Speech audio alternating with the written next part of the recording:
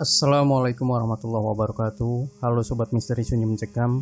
Senang sekali kami bisa kembali hadir menjumpai Anda.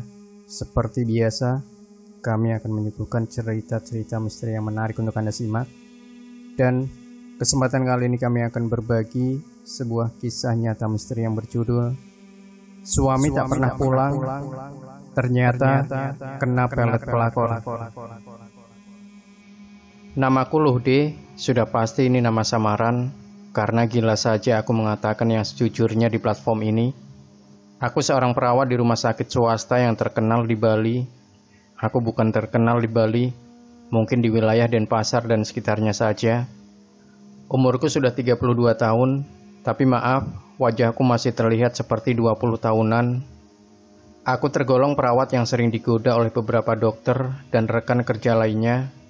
Tapi ya, aku tahu mereka bercanda. Kenapa? Karena aku sudah bersuami dan mempunyai seorang anak balita yang lucu. Bukan balita deh, umurnya sudah lima tahun jalan. Karena dia lahir di akhir tahun, aku memutuskan untuk menyekolahkannya pada saat ia berusia enam tahun saja. Anak itu diurus oleh mertuaku. Oh ya, aku tinggal di rumah mertua sekaligus rumah asli dari suamiku. Suamiku orang asli Denpasar. Ia bekerja pada sebuah perusahaan konstruksi dan kebetulan sedang memegang proyek di luar Bali. Tapi setiap akhir bulan, pasti dirinya menyempatkan diri untuk pulang. Di sini kita panggil saja namanya sebagai Blinyoman. Aku dan Blinyoman bertemu pada tahun 1996 di sebuah acara jalan santai. Awalnya hanya ditawari es kelapa. Seiring berjalannya waktu, dua tahun kemudian ia juga menawari diriku untuk menjadi istrinya. Kalau dijadikan sinetron, mungkin judulnya Es Kewut Cinta. Dua tahun bukanlah sebentar, kami berdua melalui puluhan, bahkan ratusan kisah pahit manis yang membuat hubungan ini semakin harmonis. Mulai dari motor mogok sampai bertemu mertua sudah kami lewati bersama. Tapi namanya jodoh, bukan seperti kalian, hei tukang ghosting.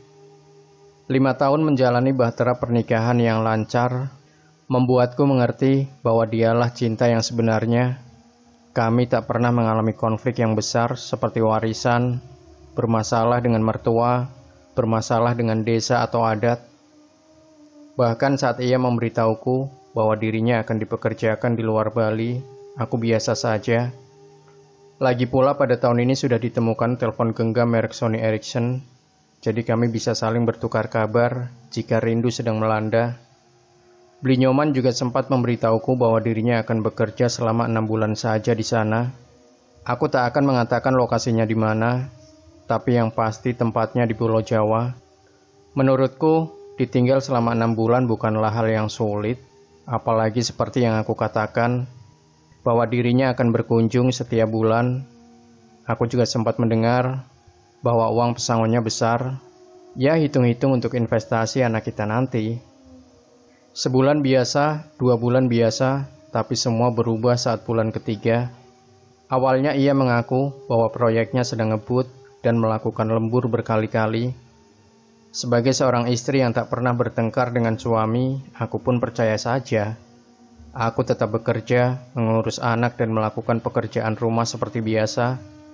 Sampai akhirnya kejanggalan baru muncul, Blinyoman mengaku dirinya tak bisa pulang dalam beberapa bulan terakhir dengan alasan yang sama, lembur. Lagi-lagi aku percaya padanya. Sampai akhirnya tempo proyeknya selesai. Benar sekali, sudah lewat enam bulan tapi dirinya tak datang. Aku lupa memberitahu, kami tetap saling menelpon satu sama lain sampai awal bulan ke-6. Semua cara untuk menghubunginya terputus. Pada bulan ke-7, aku iseng menelpon ke kantor suami. Ternyata proyek sudah selesai pada bulan kelima karena banyak melakukan lembur. Terkejut dan bingung, aku langsung bertanya bagaimana keadaan suamiku mereka malah bingung karena ternyata suamiku sudah mengundurkan diri dari kantor dan juga mereka bilang bahwa suamiku sempat ke Bali setelah proyek selesai lalu menyerahkan surat pengunduran diri. Aku sebagai istrinya langsung membantah karena jelas-jelas suamiku tak pulang dari bulan ketiga. Dengan keterbatasan komunikasi, aku berusaha menghubungi semua rekan kerjanya, tapi jawaban mereka sama. Aku duduk di sebuah bangku taman kota sambil mengusap dahi. Gimana sekarang ini? Gumamku. Yang aku pikirkan adalah apakah ia mengalami masalah yang besar di luar sehingga tak memberikan kabar yang jelas untuk keluarganya. Wah, pikiranku sudah berlari ke sana kemari seperti pemain bola. Aku pulang dalam keadaan bingung dan resah. Sesampai di rumah, kulihat mertuaku sedang membuat canang di balai, tempat aku dan suamiku selalu bercerita di waktu senggang. Air mataku tak tertahan lagi, namun aku harus menjadi wanita kuat untuk keluarga ini. Masuk Jani lu? Tanya ibu mertua kepadaku. Kerja sekarang lu. Aku menghentikan langkahku dan menarik nafas panjang. Ah, makin pun bu. Ah, sekarang dah bu. Itu udah ada sayur nangka, makan dulu ya.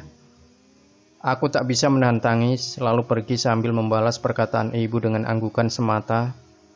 Sampai di kamar aku terus memegang telepon genggam ini sambil berharap ada SMS atau telepon darinya. Minimal ada kabar dari seseorang yang mengetahui keberadaannya.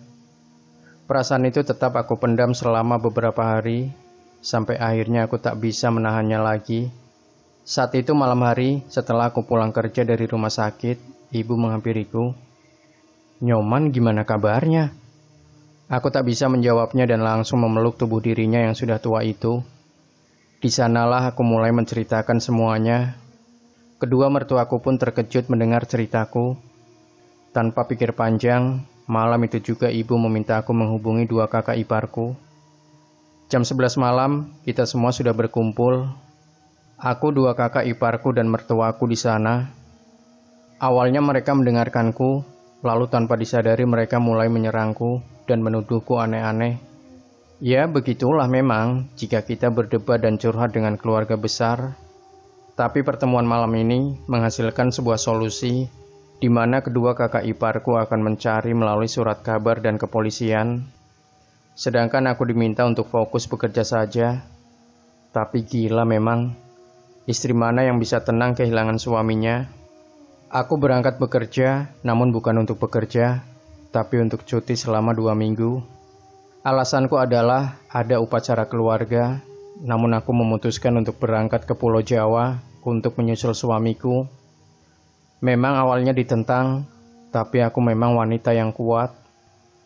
Dengan menunjukkan keteguhan hati ini, aku mendapat izin dari kedua mertuaku dan menitipkan si kecil yang untungnya belum sekolah kepada mereka. Lalu tanpa pikir panjang, aku berangkat ke tempat itu dengan pesawat.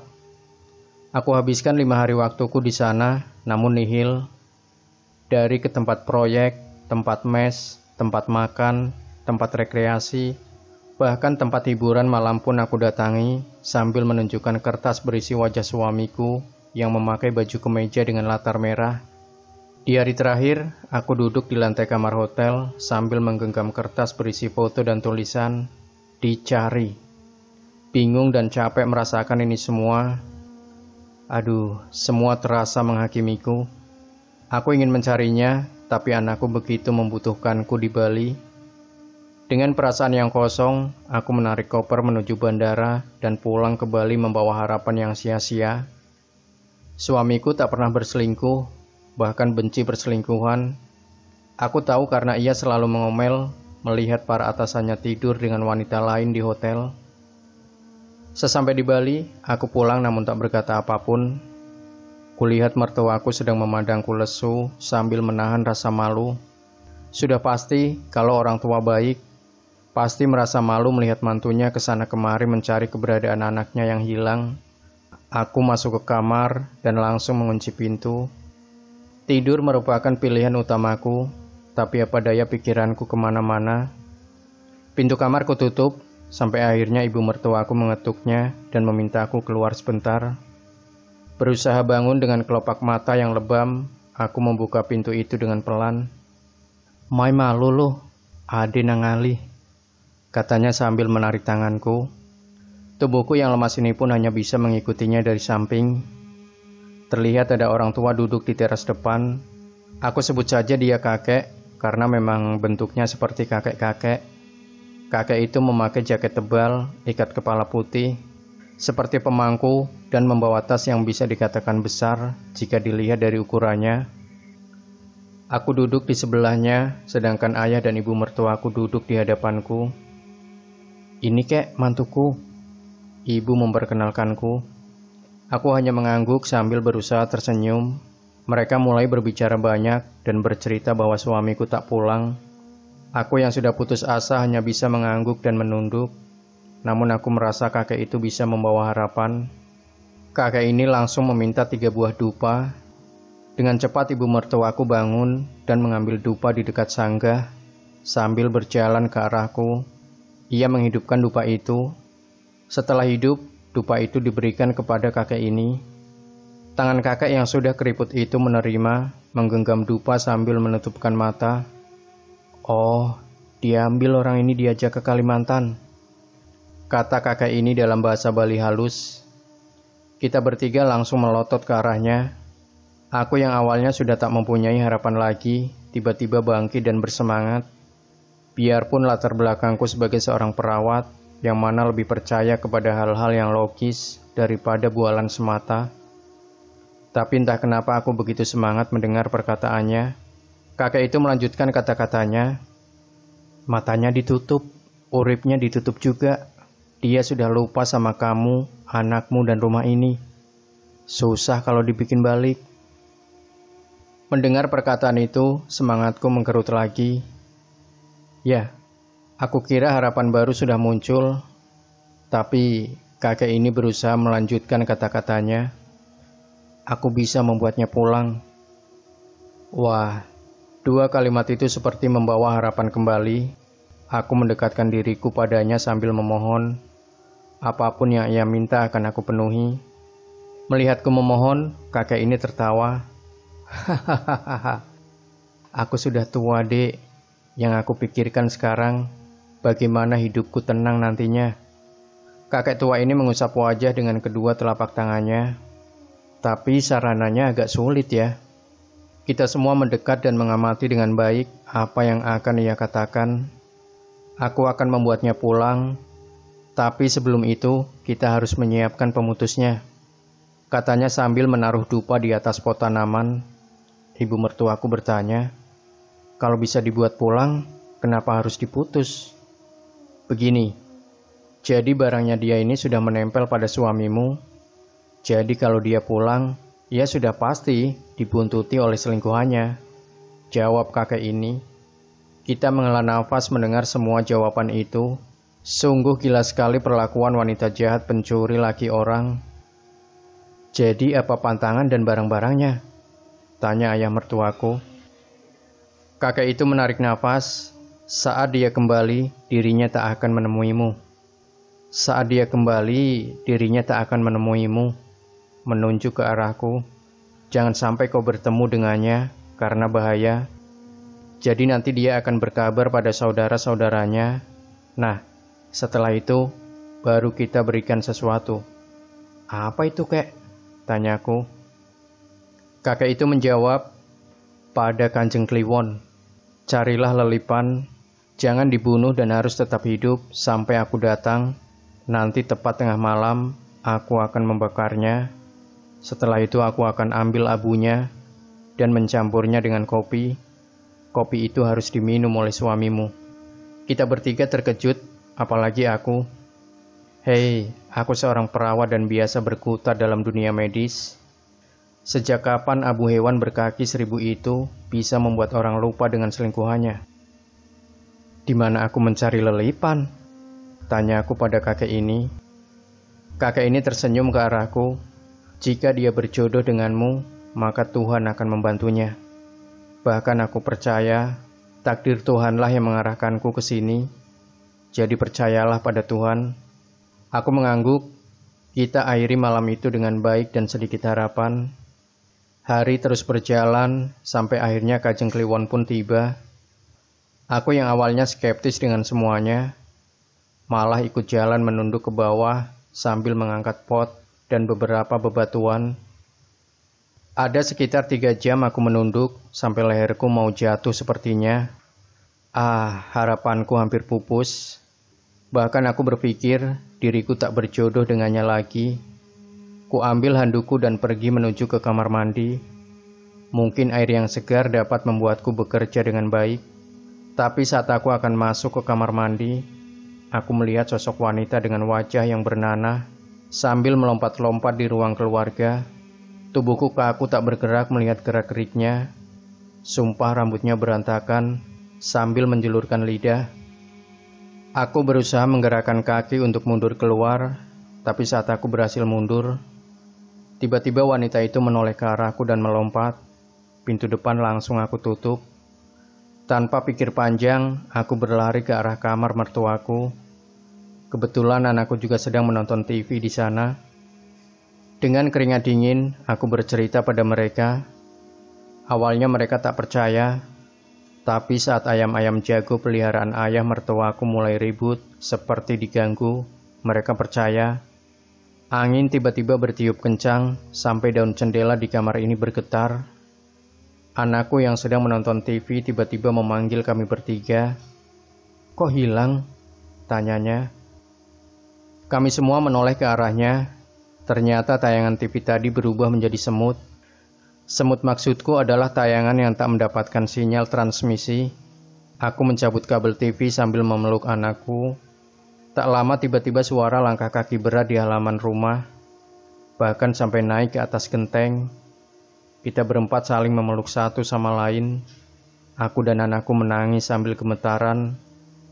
Tak lama kemudian, semua pintu-pintu di rumah terbuka dan tertutup, seperti ada begitu banyak orang yang menggerakkannya. Pintu itu dibanting berkali-kali dan lampu-lampu hidup mati hidup mati selama hampir 20 menit. Aku berteriak dan anakku menangis. Keributan itu diakhiri dengan padamnya lampu. Rumah menjadi sunyi, kecuali suara tangisan anakku yang masih belum mengerti apa pun. Aku yang terguncang dari segi mental berusaha menenangkannya. Ya, benar.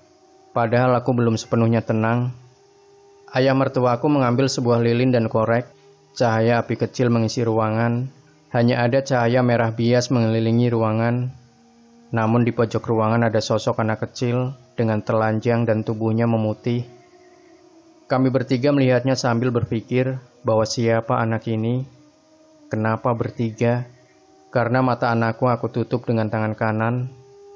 Tapi siapa anak ini?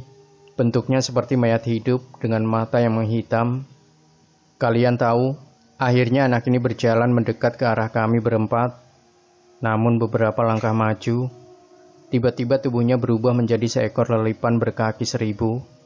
Lelipan itu panjangnya sekitar 15 cm dan berjalan pelan, tak segalak biasanya. Ibu mertuaku mengambil gelas dan menaruhnya di sana. Ajaibnya, hewan itu masuk ke dalam gelas dan melingkar di dasarnya kita bertiga masih tak habis pikir dengan kejadian ini. Gelas itu langsung kami bungkus dengan plastik agar tak keluar isinya. Keributan itu sudah selesai, kami masih tak berani keluar dari kamar itu sampai jam setengah 12 malam. Kenapa jam setengah 12? Ya, kakek itu datang bersama anaknya untuk melanjutkan ritual. Itulah pertama kalinya kami berempat keluar dan melihat bagaimana keadaan rumah Belasan ayam jago di pekarangan mati, kaca jendela pecah, beberapa genteng jatuh, ranting pohon kamboja tampak patah, barang-barang berceceran, dan antena TV tampak menggantung di atas pohon. Intinya rumah kami begitu berantakan. Malam itu juga kakek ini duduk di gerbang sambil mengeluarkan beberapa sesajen. Lelipan itu dibakar sampai kering dan abunya dibungkus dengan daun. Aku sempat bertanya, bahwa muncul sosok anak kecil yang berubah menjadi lelipan, lalu mendekat seakan menyerahkan diri. Itu adalah makhluk yang beruntung.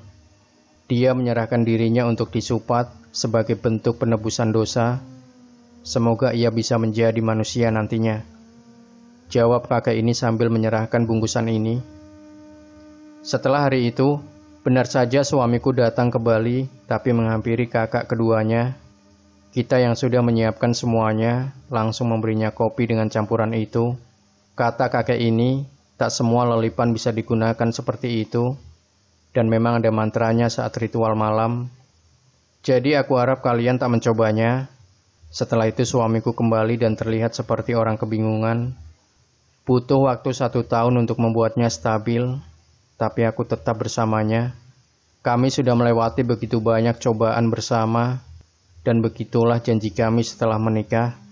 Tentang malam itu, ternyata pelakor itu berusaha mencelakai aku dan anakku, tapi gagal. Pelakor itu tak muncul kembali. Aku tak peduli. Intinya sekarang suamiku sudah menjadi pemborong, biarpun proyeknya kecil-kecilan, tapi setidaknya ia tetap bersamaku.